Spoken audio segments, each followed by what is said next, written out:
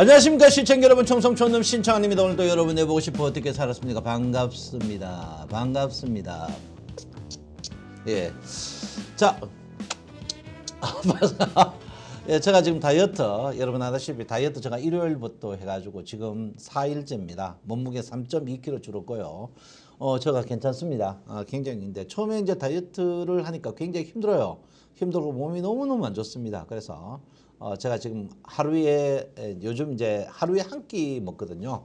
어, 한 끼 먹는데 어쨌든 몸무게는 많이 줄고 제가 이 화면을 봐도 제가 어, 많이 줄었어요. 어, 줄었다 이렇게 볼 수 있습니다. 오늘은 제가 여러분하고 어, 주가가 오늘 이제 그 왜 뜨느냐 그 아시는 분 알죠? 어, 선물 옵션 만기일입니다. 어, 만기일 주가를 갖고 이야기하면 안 되고요. 앞으로 이제 주가가 여러분한테 이제 우리가 주식을 상승할 때 주식을 상승할 때 단기로 팔아야 되는 자리인지 팔지 않아야 되는 자리인지 그리고 주가가 떨어졌을 때 매수해야 되는 자리인지 매도하지 않아야 되는 자리 그걸 우리가 전문용어로 뭐 합니까 추세라고 합니다. 아, 그래서 추세를 여러분하고 같이 한번 나눠보는 소리 하겠다 이렇게 볼 수 있습니다. 그래서 추세 에, 추세를 어떻게 봐야 될 것이냐 한번 여러분하고 이야기를 해야 되지 않을까 이렇게 저는 생각을 하고 있습니다. 자, 아, 방송 소리가 안 좋답니다, 피디님. 지금 어, 뭐 유튜브에 방송 소리가 너무 안 좋다고 계속 올라오고 있거든요. 예, 그래서 여러분 오늘 어, 오늘은 여러분 저한테 제가 이제 뭐 일찍 짧게 강의하고 종목 상담을 바로 하도록 하겠습니다. 그래서 종목 상담을 해야 되지 않나 이렇게 저는 생각을 하고 있습니다. 자, 오늘 주제부터 말씀 펴주시기 바랍니다. 자, 추세 기준을 알아보는 법. 이거 사실 제가 첫 시간에 했어요. 예, 첫 시간에 했는데 어, 많은 분들이 한 번 더 하자 이렇게 됐어요. 예, 추세를 알아보는 기준 제일 먼저 이동평균을 알아보는 법은 60일 2평과 10일 2평으로 분석하는 방법이 있습니다. 10일자가 빠졌습니다. 아, 추세의 기준은 60일 2평과 10일 2평으로 분석하는 거다 이렇게 말씀드리고요. 자, 그래서 추세를 알아보는 건 60일 2평과 10일 2평으로 알아봐야 돼요. 제일 먼저. 예, 60일 2평과 10일 2평으로 알아보는 방법이 있습니다.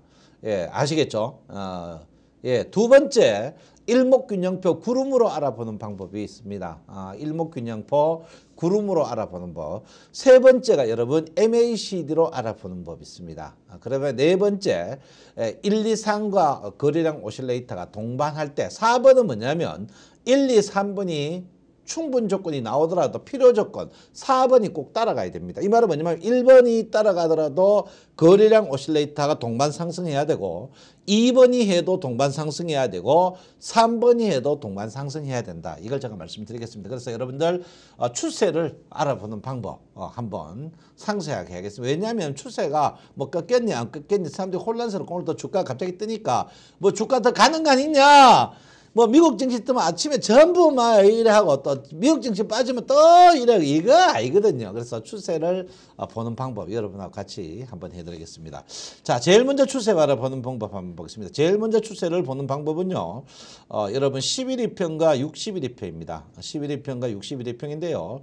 자, 11일 편과 60일 편을 한번 여러분하고 같이 한번 띄워보도록 하겠습니다. 자, 61일평을 이제 이렇게 61일평을 한번 여러분하고 띄워보겠습니다. 61일평 띄워보면요.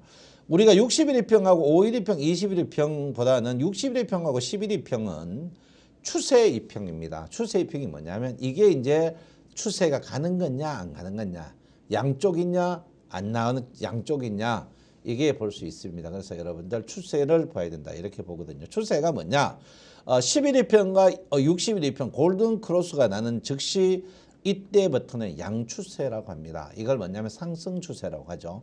어, 상승 추세다 이렇게 제가 말씀을 드리겠습니다. 그래서 어, 지금 그 음량이 너무 안 좋다고 합니다, 피디님. 잘 봐주십시오. 예, 그래서 여러분 보셔야 된다 이렇게 보거든요. 그래서 어, 여러분 여기 음량 지지를 어, 한번 봐야 되거든요. 그래서 여러분 어, 계속 어, 11일평과 61일평. 근데 지금 보시면 뭡니까? 지금 보시면 자 자세히 한번 보세요. 지금 보시면 61일평과 11일평이 아슬아슬하게 닿여 있습니다. 아직까지 양전환입니다. 양전환이지만 곧 음전환 될 수 있다 이렇게 봅니다. 그래서 주식이 항시 이 양전환 때는요. 양전환 때, 양전환이 뭡니까? 21일평과 61일평의 골든 크로스 기간이죠. 이 골든 크로스 기간에는 상승 캔들이 60% 이상 상승 정확히 상승 캔들이 보통 60한 2% 정도 나옵니다. 하락캔들이 38% 엘리어트 파동 이론으로 나와요. 그래서 어, 상승캔들이 더 많습니다. 그래서 주식 보시면 나중에 또, 더 상세하게 이야기했지만 어, 이쪽 상승할 때 이까지 상승 캔들이 더 비율이 더 높고요. 서서히 이제 50, 50대다가 떨어집니다. 이 말이 뭐냐면 주가가 상승할 때는 어, 상승 캔들이 더 많다가 주가가 약세가 되면 상승하는 날과 하락하는 날과 비슷해지다가 그 다음에 뭡니까 하락하는 날이 더 많아지는 그런 장세가 된다 이렇게 볼 수 있습니다. 그래서 우리가 보통 추세가 깨졌다 안 깨졌다 이걸 말할 때는 11일 평과 60일 평으로 말한다. 이걸 제가 여러분에게 분명히 말씀드리겠습니다. 그래서 지금 어, 코스피 같은 경우에는 추세가 깨지기 일보 직전이다. 이렇게 제가 말씀을 드리겠습니다.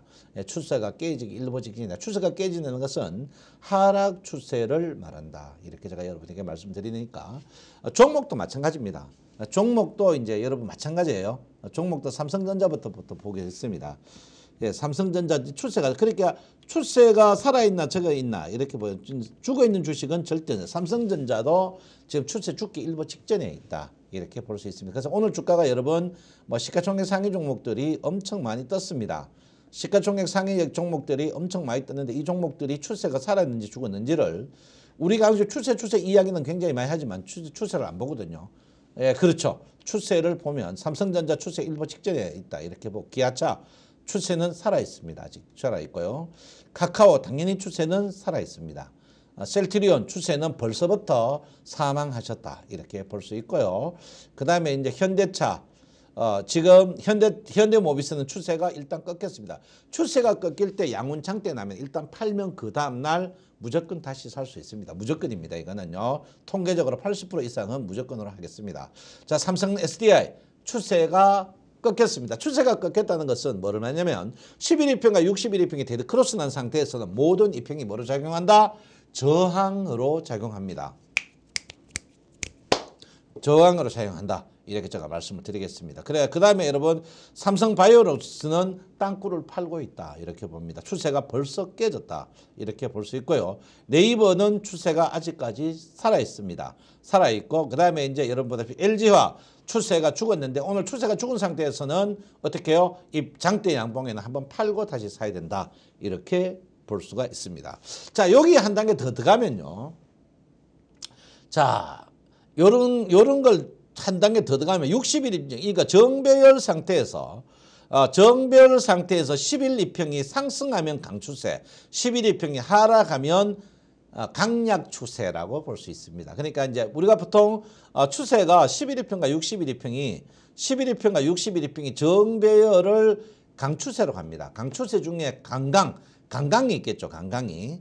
예, 강강이 있습니다. strong, strong 있죠. 어, over strong. 강강은 11일평이 상승할 때는 강강, 11일평이 떨어질 때는 강약이라고 여러분 합니다. 그 반대로 주가가 떨어질 때는 어떻겠습니까? 떨어질 때는 어, 데드크로스 상태에서 약약이겠죠. 약약. 약약. 왜냐 11일평 어, 그러니까 60 데드크로스의 약약이고요. 그 다음에 이제 11일평 아래에 주가가 올라갈 때는 약강으로 할 수 있습니다. 그래서 여러분들이 내 주가가 지금 어, 강강이냐, 강약이냐, 아, 약강이냐, 약약이냐를 어떻게 11일평과 11일평과 어, 61일평의 골든크로스와 데드크로스를 보면 여러분 정확히 알 수가 있습니다. 그래서 여러분들 이게 어, 가장 추세를 정확히 뭐 추세 이런 것도 증명하지 않고 추세가 어떠니 저떠니 매일 그렇지만 하지만 그런데 요것만 아니면 그런 거 많을수록 그 사람 경력 보면요. 증권 어디서 배운 적이 없어요. 뭐 증권회사 출신도 아니고 은행 출신, 펀드 출신도 아니고 그런 뻔 그렇지만 하지만 그런데 뭐 이런 사람일수록 여러분 뭡니까?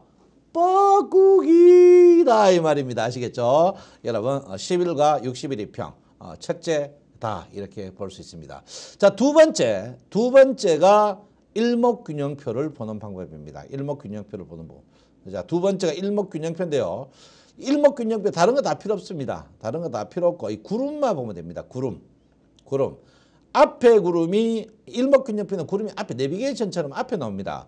앞에 구름이 검으면은 뭐라고? 추세가 죽었다. 이렇게 볼 수 있습니다. 그럼 종합주가 지수 한번 보도록 하겠습니다. 예, 종합주가 지수 보면 코스피는 아직까지 추세가 살아있다. 제가 여러분들한테 했죠. 61평 다 했을 때 앞에 구름이 붉으면 주식이 기술적 반등이 올라온다. 이렇게 제가 여러분에게 말씀을 분명 드 제가 왜 이걸 하느냐면 처음에 할 때 여러분들 시청률도 별로 안 좋았고 그때 시청자들이 별로 없었어요. 그리고 그때는 내가 의혹만 앞서가 여러분 저때 많이 가르쳐 주기만 잘했는데 이렇게 차근차근 가르쳐야 되는 시고 이게 워낙 중요하거든요.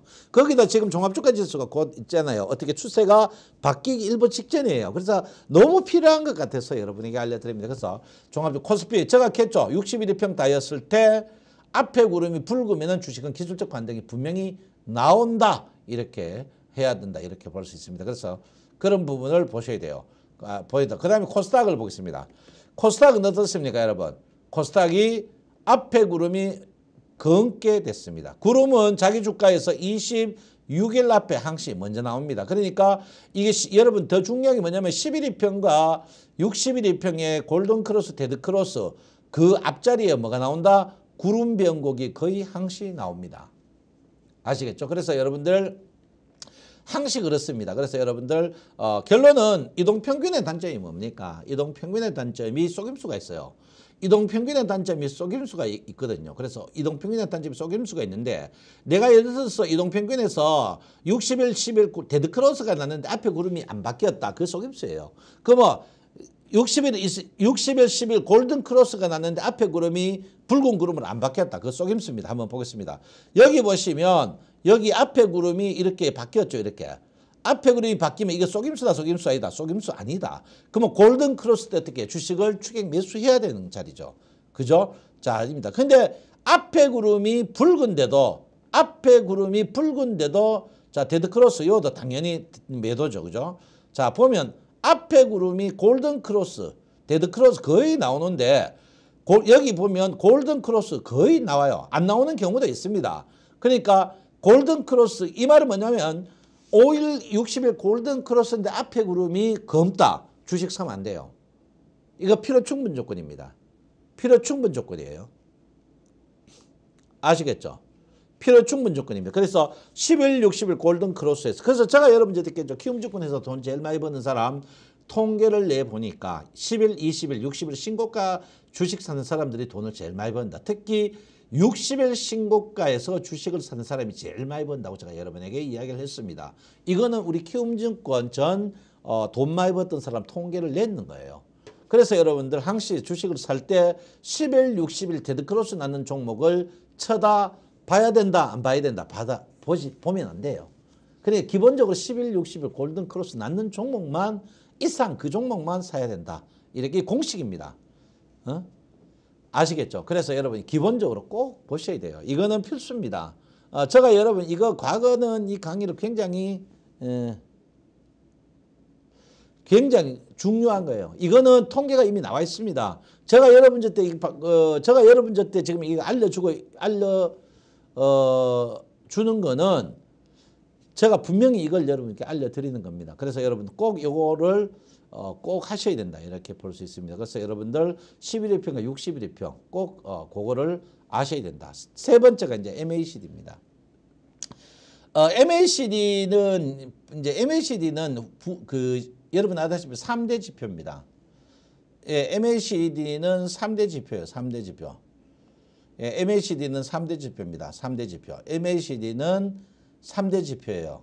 MACD는 3대 지표인데 어, MACD는 여러분 60일 이평 이게 이제 그 MACD는 3대 지표입니다. 어, 3대 지표. 그럼 왜냐하면 그만큼 신뢰도가 높아요. 물론 지금 MACD보다 신뢰도가 더 높은 어, 그런 주식이 있습니다.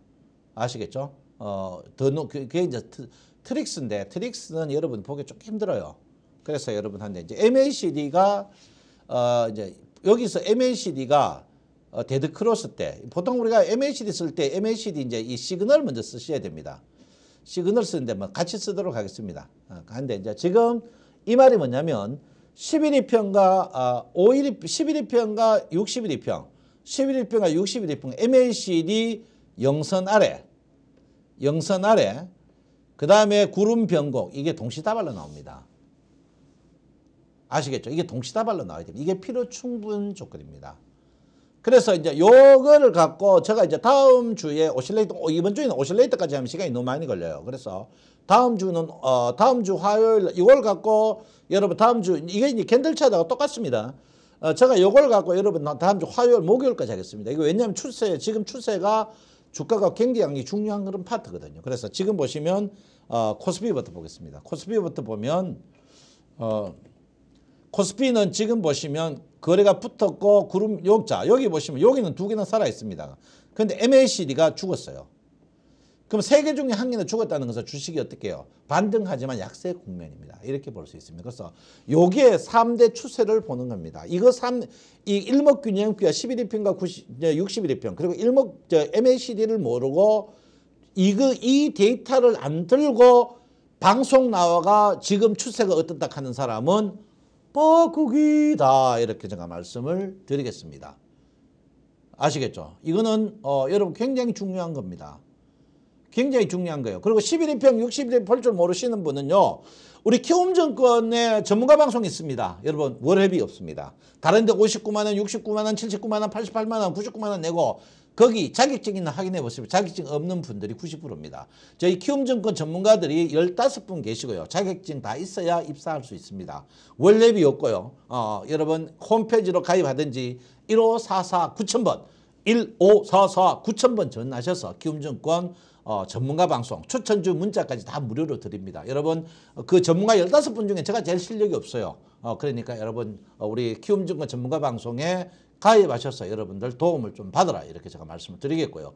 저는 이 방송하고 여러분들이 저를 이쁘게 봐주셔서 한 50명 이상 회원이 늘어났습니다. 감사하다는 말씀 이 자리를 들고요. 여러분 키움증권 전문가 방송에 꼭 돈 내지 말고 가입하셔라 이렇게 제가 말씀을 드리겠습니다.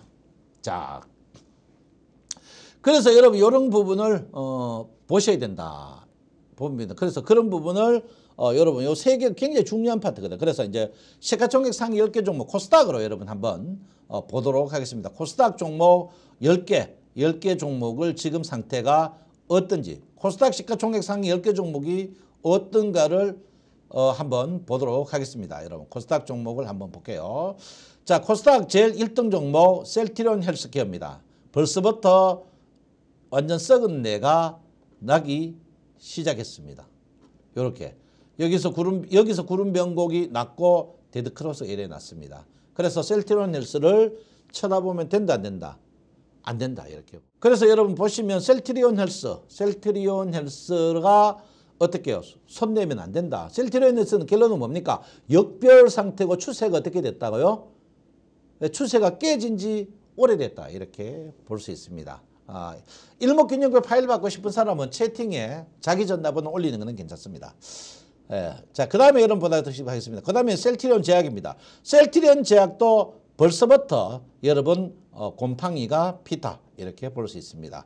아, 피타. 이게 이제 삼위일체입니다, 여러분. 아시겠죠? 삼위일체다. 이렇게 제가 여러분에게 볼 수 있습니다. 어, 3위 일다 이렇게 봅니다. 셀트리온 제약이고요. 그 다음에 여러분 보다시피 세 번째 종목입니다. 퍼러비스입니다.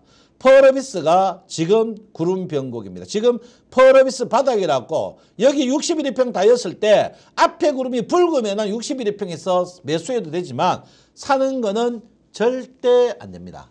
절대 안 돼요. 절대 안 된다. 이렇게 제가 여러분에게 말씀을 드립니다. 그래서 여러분 안 돼요. 사는 거는 안 됩니다. 그래서 여러분 요거 좀 조심을 하셔야 된다.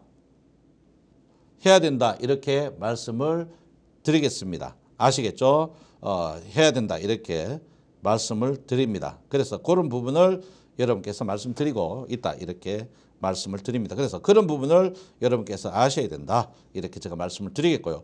절대적으로 무리하는 것은 안 된다. 이렇게 제가 여러분의 말씀을 드리겠습니다. 자, 퍼러비스, 어, 퍼러비스 어, 제가 이거 어, 했어요. 어, 퍼러비스 회사 이렇게 볼 수 있습니다. 예, 그래서 그런 부분을 여러분께서 어, 요거 진짜 중요한 파트입니다, 여러분. 예?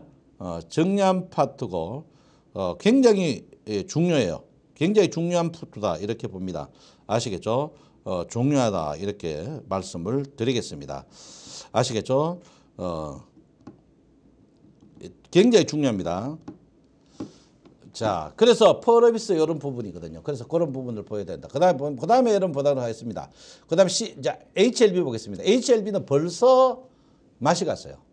벌써. HLB는 구- 궁극적으로 여러분이 여기 앞에 여, 여기서 이미 갔습니다. 여기서 벌써 갔어요.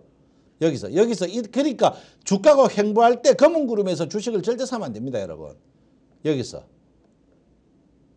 여기서 이렇게 간 거죠. 그죠? 이런 부분을 여러분께서 꼭 아셔야 돼요. HLB 어, 거의 갔다 이렇게 보고. 그 다음에 CJN 보겠습니다. CJ는 벌써 오래전에 갔습니다. CJ는 여러분 이때부터 가기 시작했습니다. 이때. 이때. 이때. 이때 11, 60일 데드 크로스 때 MACD 영선 아래로 가면서 구름 변곡 날 때. 이때 여러분 굉장히 어, 문제가 좀 있었다. 이렇게 제가 볼 수 있습니다. 그래서 그런 부분을 여러분께서 보셔야 되는 부분이다. 이렇게 봅니다. 자, 그 다음에 이제 씨젠이고요. 그 다음에 여러분 보다시피, 어, 보다시피 SK 머리티얼즈 보겠습니다. SK 머리티얼즈는 여기는 지금 살아나고 있습니다. 여기는 살아나고 있는데 앞에 구름이 의문입니다. 앞에 구름이 의문이에요. 그래서 앞에 구름이 의문이기 때문에 요 주식은 지금 사면 된다 안 된다 안 된다. 앞에 구름이 의문이면 요거는 기술적 반등이다. 요렇게 여러분 말씀을 그래서 이게 이동 평균 구름 MACD 추세를 보는 것 중에 이 세 개가 제일 정확합니다. 지금 이미 통계 나온 것 중에도 이 추세 보는 게 이거보다 더 중요한 게 없어요. 저 방송은 여러분 아다시피 화요일, 목요일 1시 30분에 합니다. 아, 화요일, 목요일 하고요. 여러분 우리 키움증권 전문가 방송 어, 도움을 받으시기 바랍니다. 원래비 없어요. 수수료는 당연히 받아요. 우리도 먹고 살아야 될 거 아닙니까? 어, 여러분, 어, 여러분 덕분에 제가 이 방송하고 어, 두 가지 기쁜 소식이 있어요. 유튜브 접속이 만 회를 넘었어요. 보통 만 회 넘으면 10만 회는 금방 갑니다. 에, 유튜브 접속이 만 회가 넘었다. 두 번째가 회원이 50명 이상 늘어났다. 그리고 열화와 같은 성원 너무나 감사하다. 이렇게 제가 여러분에게 말씀을 드립니다. 아, 예, 바이넥스 손대면 안 됩니다. 곰팡이 피었습니다. 시황요, 시황 한번 보고 마치도록 하겠습니다. 자, 시황 어떻습니까, 여러분? 보이죠? 시황 코스피입니다. 코스피는 붉은 구름에 자, 확대할게요. 붉은 구름의 정별의 MACD는 영선 세 개 중에 한 개는 맛이 같습니다. 세 개 중에 한 개는 맛이 같다. 그러면 1년 어떻게 해요? 물량을 꼭 줄여야 된다. 이렇게 볼 수 있습니다. 그래서 특히 여러분 역배열상 때그 말이 뭡니까? 역배열상 때는 주가가 양봉장 때 나면 주식을 물량을 줄여야 된다. 제가 볼 때 대형주는 어, 조금 줄이는 게 좋지 않나 이렇게 생각을 하고 있습니다. 자 코스닥은 여러분 뭐 말할 거 없습니다. 코스닥은 제가 여러분한테 분명히 얘기했습니다. 코스닥은 이미 곰팡이가 펄펄 피해가지고 이제 동충하초 되려고 한참 있습니다. 그래서 여러분 코스닥 대형주는 여기가 바닥이라고 생각하시면 절대 안 된다 이렇게 볼 수 있습니다. 그래서 여러분 정리하면 11일평과 61일평의 절묘한 조화 두 번째 일목균형표 세 번째 MACD 영선 위에 있냐 영선 아래 있냐를 여러분께서 보시면 여러분에게 큰 도움 되지 않을까 이렇게 저는 생각을 하고 있습니다. 여러분 요거요 요서 오늘 4번을 못했어요. 어, 오실레이터 첨부되는 걸 못했는데 요거는 다음 주 화요일과 목요일 또 하겠습니다. 여러분 내 마음 아시죠? 네 여러분 편입니다. 감사합니다. 청송년 신창원입니다.